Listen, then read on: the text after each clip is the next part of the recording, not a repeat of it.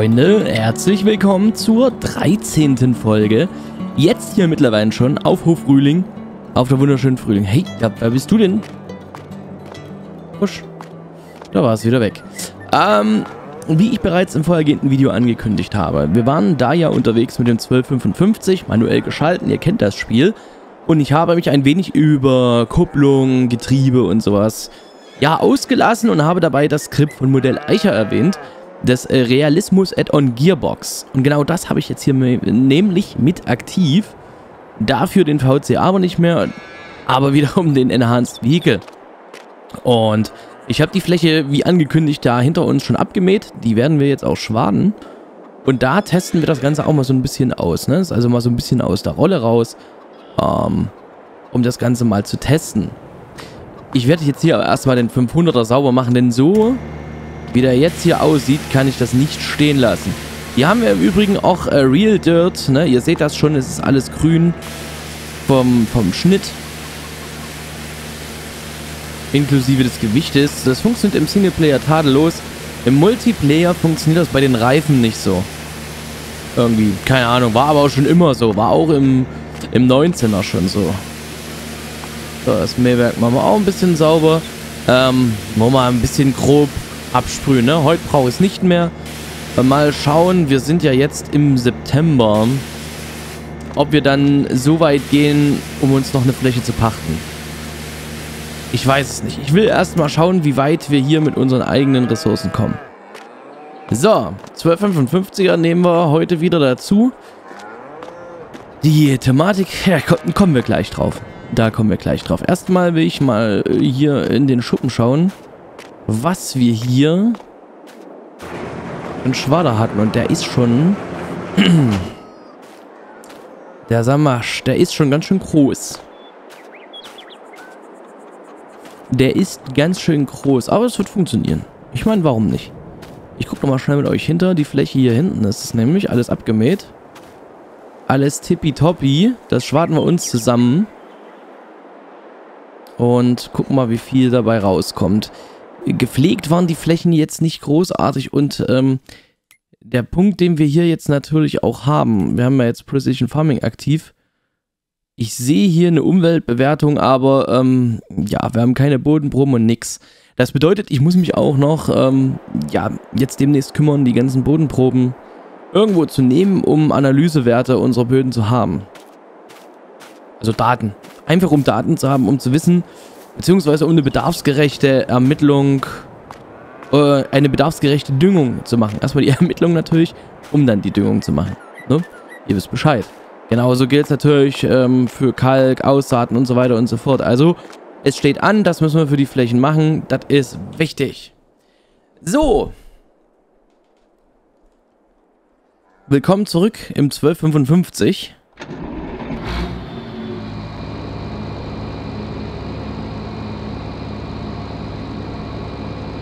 als allererstes mal die Tür zu.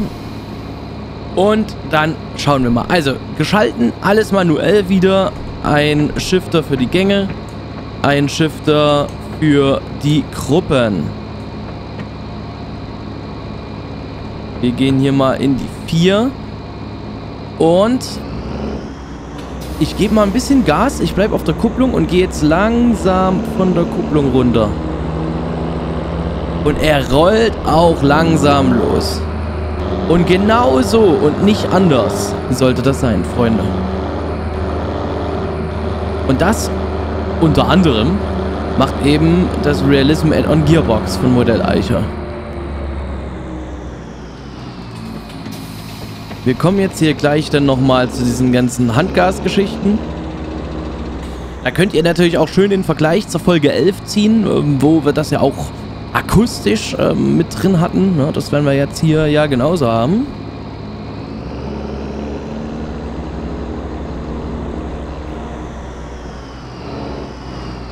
Auf jeden Fall ist dieses Anfahrverhalten alleine schon ist ein Traum.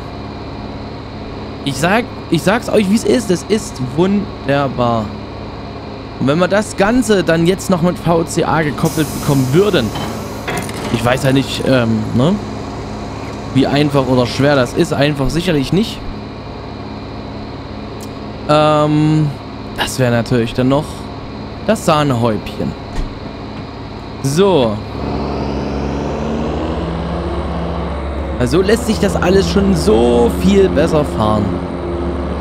Glaubt's mir. Probiert's aus. Ich habe es in der Modliste verlinkt. Modliste findet ihr in der Videobeschreibung. Wir gehen erstmal hier auf die niedrigere Übersetzung.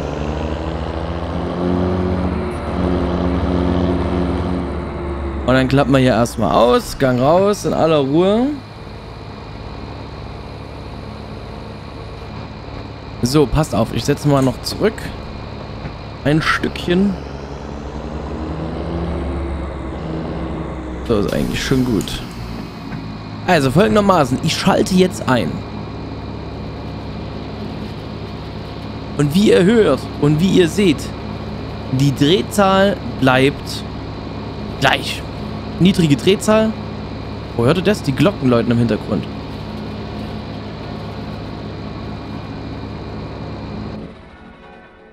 Zwölf Uhr, Mittag. Gut. Jetzt arbeiten wir hier ein bisschen. Und ich kann jetzt die Drehzahl per Handgas, also dafür nehme ich meinen Schubhebel vom Joystick.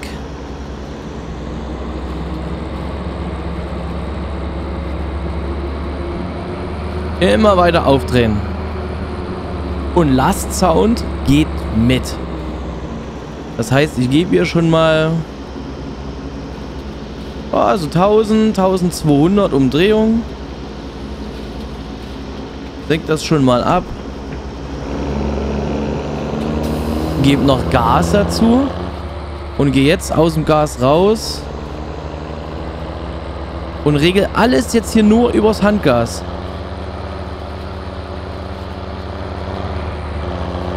Ja, gehen wir mal noch einen Gang höher. Handgas auf. Ihr hört ja auch, er geht in die Last. Ich stehe jetzt nicht auf dem Gaspedal. Und das ist eben top. Ich gehe runter. Wir haben jetzt auch extra eine analoge Achse. Das heißt, mehr Gas, weniger Gas haben wir jetzt gar nicht mehr. Wie wir das im VCA haben, sondern hier in diesem Skript haben wir eben eine analoge Achse. Also eine Achse wie ein Schubhebel, die wir hier frei belegen können. Und je höher ich das mache, desto höher geht die Motordrehzahl. Die wiederum gekoppelt ist am Sound, an der Leistung und so weiter und so fort. Also hier passt alles. Ich nehme es jetzt mal komplett raus. Bleib mal auf dem Gas und gehe vom Gas runter. Die Drehzahl bleibt oben und senkt sich halt langsam dann ab. Na, ohne das Skript senkt das sich rapide schnell ab. Jetzt langsam, so wie es eben in der Realität auch ist. Na, wenn ihr Auto fahrt und ihr geht aus dem Gas raus, es sagt ja die Umdrehung auch nicht gleich auf 500 Umdrehungen wieder runter oder sowas. Wisst ihr, was ich meine? Genauso. Und das ist fantastisch. Dankeschön für dieses Skript. Ja, Last Sound ist halt schön mit drin. Auch ohne auf dem Gaspedal zu stehen. Alles tippitoppi. Der Schwader ist allerdings schon eine Nummer für sich. Also ich weiß nicht, aber nicht vielleicht einfach echt eine Nummer zu groß. Positiv ist schon mal, wir bleiben nicht hängen. Allerdings ist es jetzt auch nicht die Fläche, wo wir das Heu liegen haben. Vielleicht fahre ich da mit euch am Ende nochmal hin, am Ende des Videos.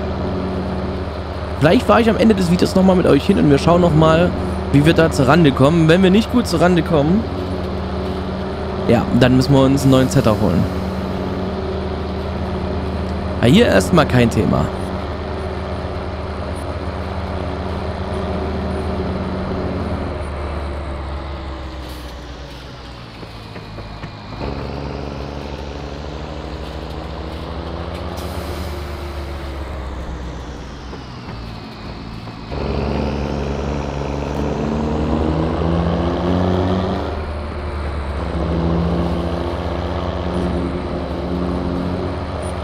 Jetzt schauen wir mal, wie wir hier fahren.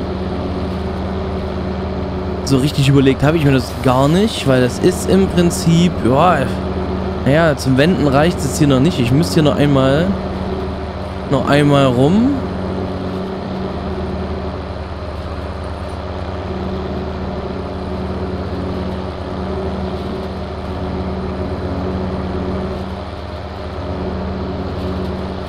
So in etwa. Müssen wir mal gucken, dass wir das dann vielleicht nochmal irgendwie zusammenschwaden. Ah, es ist wunderbar. Es ist wirklich... Ich weiß nicht, ob das im Video so rüberkommt. Aber... Ähm,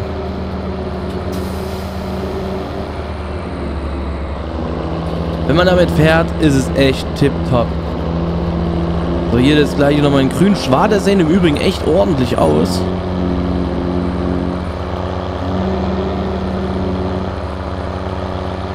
Da bin ich mal sehr gespannt. Ballengrößen. Äh, ja, schauen wir uns dann an, wenn wir pressen.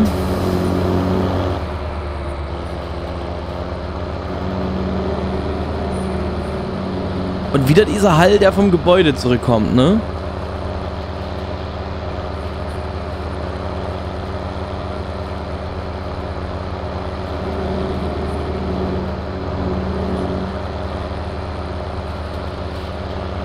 Aber so fetzt das. So macht das wirklich Spaß. Probiert's aus, Freunde. Bedenkt mit der VCA ist es noch nicht kompatibel. Ne? Wenn ihr VCA drin habt, nehmt VCA raus.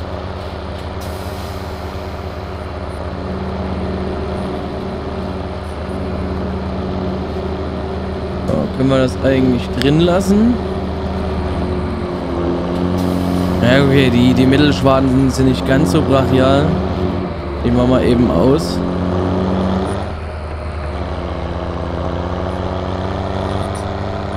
Da fahren wir rüben auf die andere Seite. Also Vorteil des Schwaders ist natürlich äh, von der Breite her, wir sind schnell durch. Wir sind schnell durch. Das ist erstmal prinzipiell gar nicht so schlecht. Aber ich hab, weiß nicht, ich, ich, ich glaube, mir ist eine Nummer zu, eine Nummer zu groß.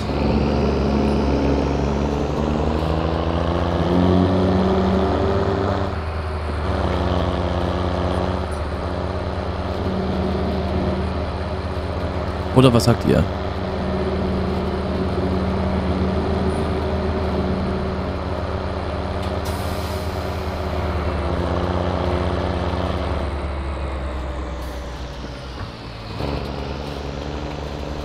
Oh ja, das fährt sich so viel besser mit einer vernünftigen Kupplung.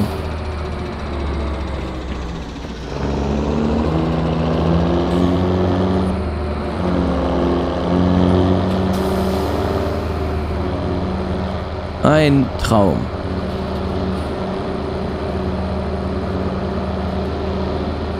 Den in der Mitte können wir da eigentlich liegen lassen. Der passt ganz gut.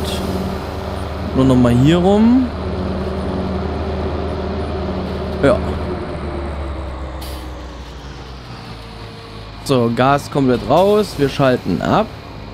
Geil wäre jetzt natürlich, wenn wir die Zapfwelle anschalten würden und nicht genug Handgas geben und das Ganze uns hier absäuft. Das wäre noch das i-Tüpfelchen, sage ich mal. Aber okay. Wir fahren jetzt zu unserer Heufläche rüber. Und mal hier. Nächste Gruppe.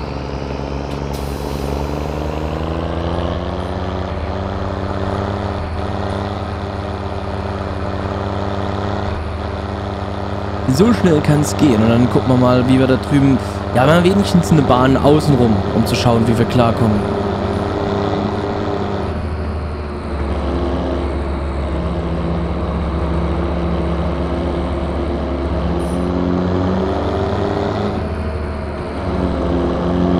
Oh, ist das super. Hey, ihr glaubt gar nicht, wie, wie erfrischend das ist. Wie angenehm zu fahren nur mit dem Enhanced wieder. Also ich habe mir jetzt noch ein anderes ähm, Joystick-Profil angelegt, weil ich ja einige Programmierungsgeschichten vom VC auf dem Joystick hatte. Habe ich mir jetzt ein Profil geklont und die Enhanced-Einstellung gemacht. Also wenn ich Enhanced zu Frühling spiele, nehme ich das Profil.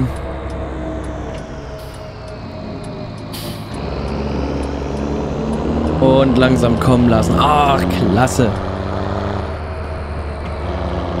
Wartet mal, ist, ist Zwischengas möglich? Oh ja. Ah, ist das gut. Wartet mal. Vierter Gang.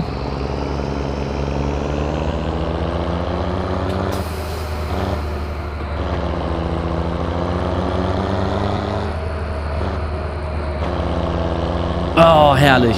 Müsste man zwar gar nicht machen, weil ich glaube, wir haben ja schon ein synchronisiertes Getriebe. Aber es ist halt geil. es ist halt geil. Wisst ihr, was ich meine? Nochmal, weil es so schön ist.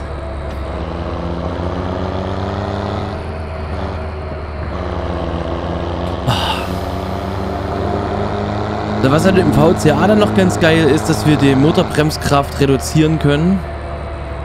Was wir im Enhanced natürlich nicht mit haben. Das ist ein Feature. Das fehlt jetzt hier erstmal.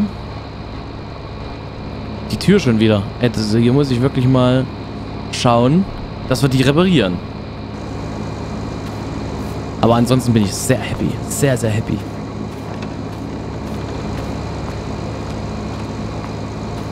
Komm, schwarten wir das jetzt auch noch schnell durch, oder?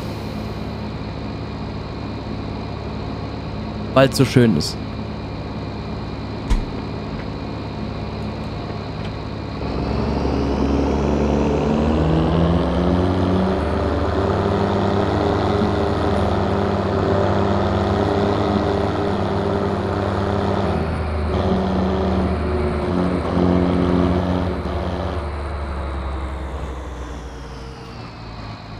Okay, ich gebe schon mal ein bisschen Handgas.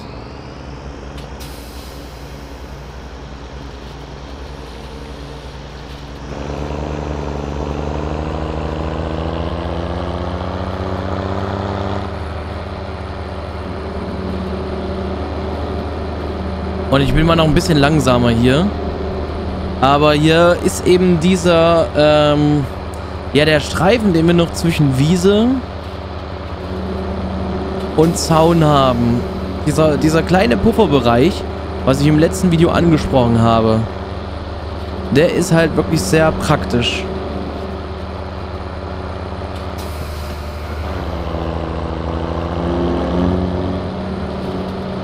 Ja, es funktioniert. Nee, da brauchen wir uns... Ich glaube, da brauchen wir uns keinen anderen Setter holen. Ich glaube, das läuft.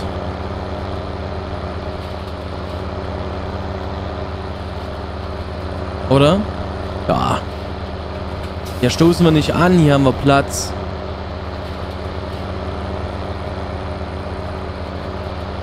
Haben die sich durch den Zaun gedrückt da, die beiden? Habt ihr das gesehen?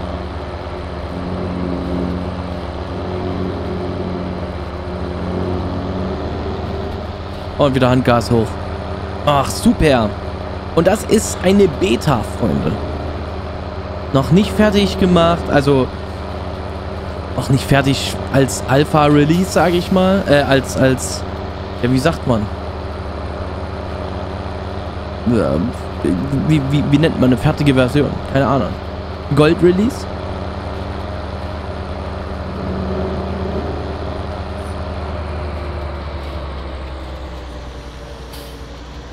So, jetzt müssen wir mal schauen. Wie machen wir das jetzt am besten?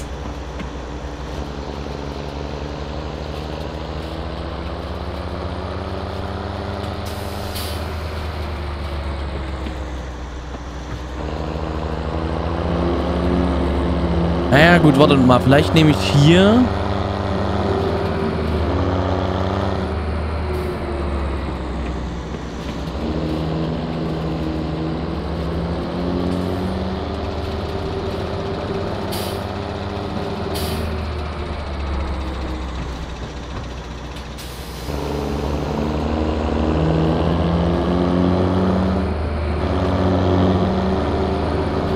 Ja. Mal noch ein bisschen Platz zum Wenden lassen.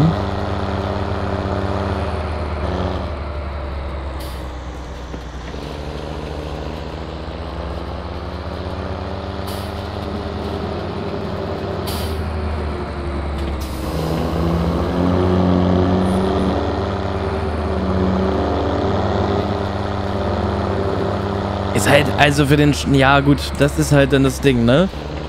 Ist für den Schwader halt hier schon alles ein bisschen zu eng.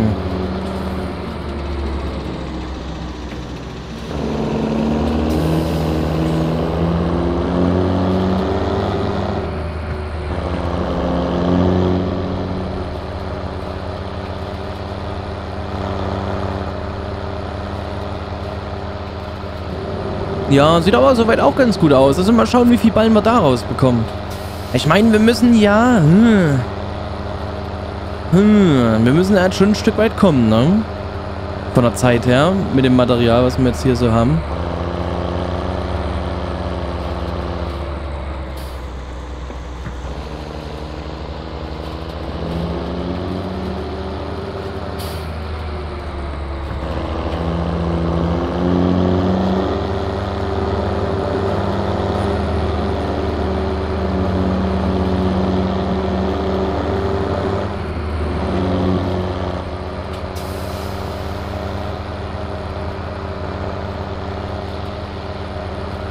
Perfekt. Also, ich bin zufrieden, sagen wir so. Ob meine Arbeit perfekt ist, das merken wir, wenn wir mit der, mit der Rundballpresse unterwegs sind.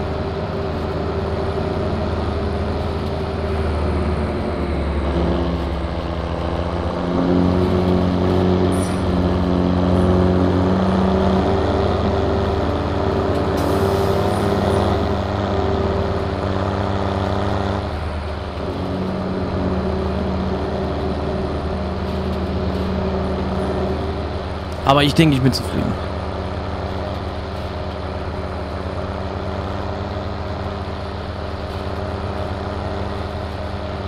Könnt ihr mir ja mal in die Kommentare schreiben. Ihr wisst, es gilt immer noch, Experten auf ihrem Gebiet, schickt mir eine Sprachnachricht.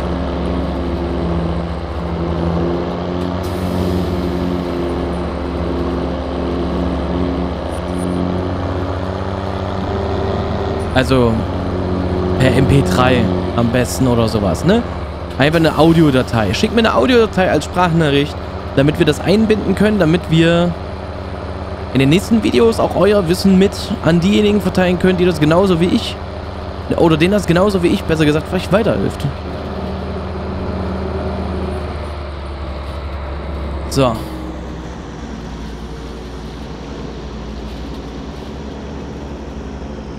Und Gas raus.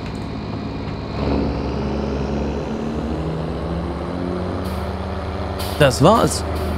Beide Flächen geschwadet.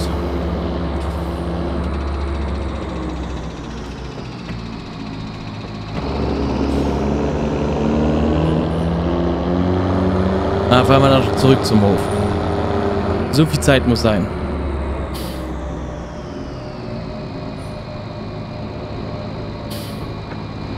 So viel Zeit muss sein.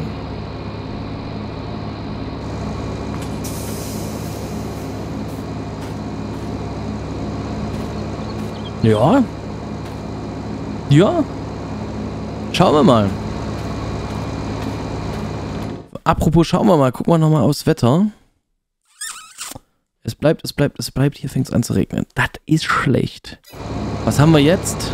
12.16 Uhr. Wir sollten, wir sollten eigentlich, es ist halt, es ist die Frage, wie lange wird es regnen? Ist es nur eine kurze Husche? Oder wird das länger regnen? Habe ich Bock auf Risiko? Nee. Eigentlich nicht. Ich kann es mir nicht leisten.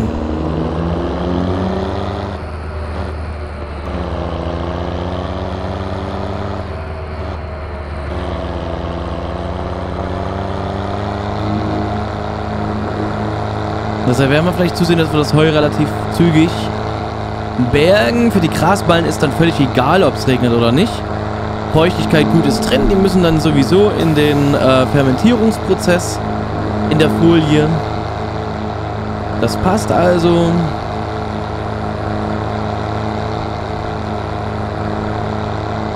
Und hier muss ich jetzt auch noch weiterarbeiten. Ich habe auch keine Zeit, ey.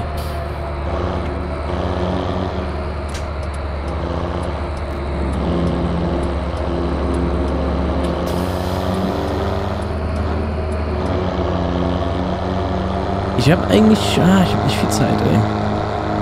Da drüben müssen wir halt auch noch flügen. Aber bevor wir das alles machen, ich brauche Bodenwerte, Freunde. Ich brauche Bodenwerte, also ihr merkt schon.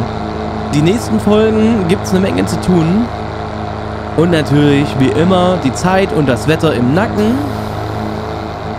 Wenn ich mich auch so umgucke, dort hinten ziehen auch schon irgendwo so die Wolken. Es zieht sich alles so ein bisschen zu. Glücklicherweise haben wir das Heu ja schon eine Weile liegen. Das ist der Vorteil. Die haben ja schon eine Weile liegen, die, äh, das Heu. So.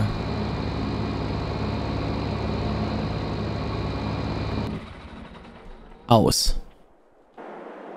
Zu. Da haben wir doch ganz gut was geschafft. Das hatte ich mir so gar nicht vorgenommen. Ich dachte, okay, die Grasfläche, die machen wir jetzt runter, aber ja, bei der Arbeitsbreite.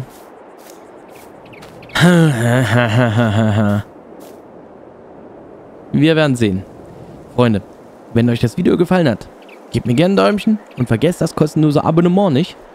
Schreibt mir in die Kommentare, was ihr drüber denkt. All das hilft mir gegen den YouTube-Algorithmus. Ihr kennt ihn.